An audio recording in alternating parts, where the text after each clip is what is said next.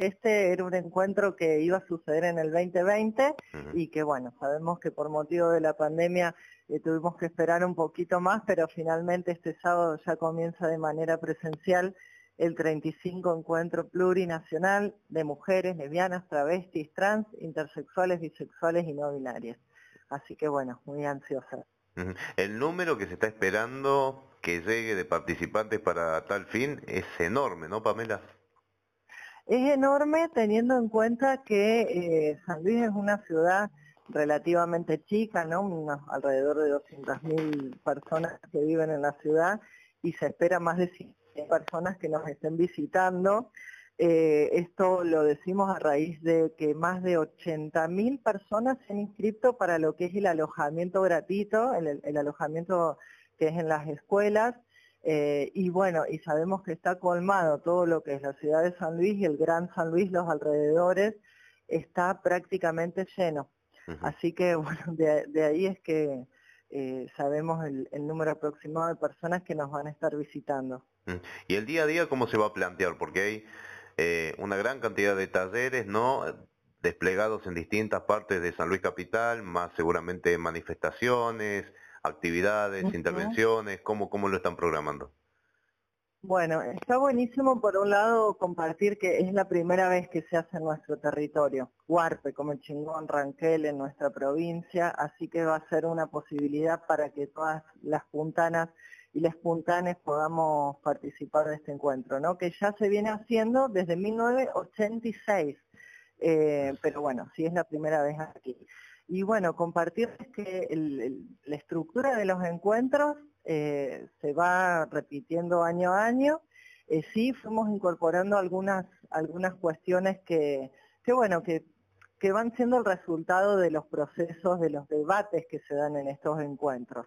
Por ejemplo, esta es la primera vez donde se va a hacer una apertura con una ceremonia ancestral donde las, las compañeras ranqueles van a estar dándonos la bienvenida. Eh, luego el día, eso es el sábado por la mañana. Eh, eh, siempre el sábado la apertura la da la comisión organizadora, que somos quienes estamos garantizando este encuentro, hace un, discurso eh, de apertura donde, bueno, de alguna manera nos posicionamos y hacemos algunas lecturas ¿no? del mm. contexto, análisis de la realidad, algunos desafíos eh, que entendemos del movimiento feminista y transfeminista, y el día sábado a las 15 horas se comienzan los talleres, eh, que como vos bien decías son más de 100 talleres, son 105 talleres, que pasan por toda la diversidad de los temas que nos atraviesan a las mujeres y las disidencias, ¿no? cuestiones que tienen que ver con, el trabajo, con la crianza, con la sexualidad, eh, con la defensa de la vida, todo lo que son las temáticas vinculadas a, la lucha contra el extractivismo, ¿no? Media minería, eh, fracking, la ley de humedales, la soberanía alimentaria, los pueblos fumigados, eh, bueno, todo lo que es el acceso a la justicia, los derechos humanos en general, eh, la mirada más internacionalista, que eso es súper interesante también, como poder hacer una mirada en relación a la crisis económica mundial. Bueno, muchísimos temas que van a estar transcurriendo de manera paralela en estos 105 talleres que se, que se, se van a dar eh, en las escuelas del microcentro de la ciudad. Mm.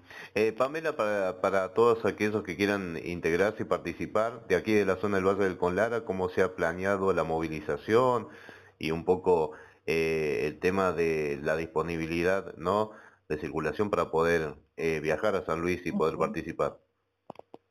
Los encuentros cabe aclarar que son autogestivos, es decir, que bueno, eh, quienes organizamos, quienes somos parte de la comisión organizadora, tenemos como tarea garantizar sobre todo lo que es el alojamiento gratuito, el alojamiento en piso, que le decimos que es bueno para las personas que se inscribieron, eh, poder garantizarse, garantizarles ese lugar.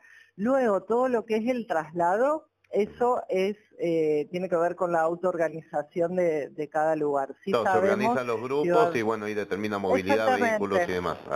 Exacto, sí. Sabemos que va a haber eh, colectivo que ya se organizaron las compañeras de Tras la Sierra, sabemos que vienen un montón de autos, eh, porque también eh, es la ventaja de estar casi de local, ¿no? De estar cerquita.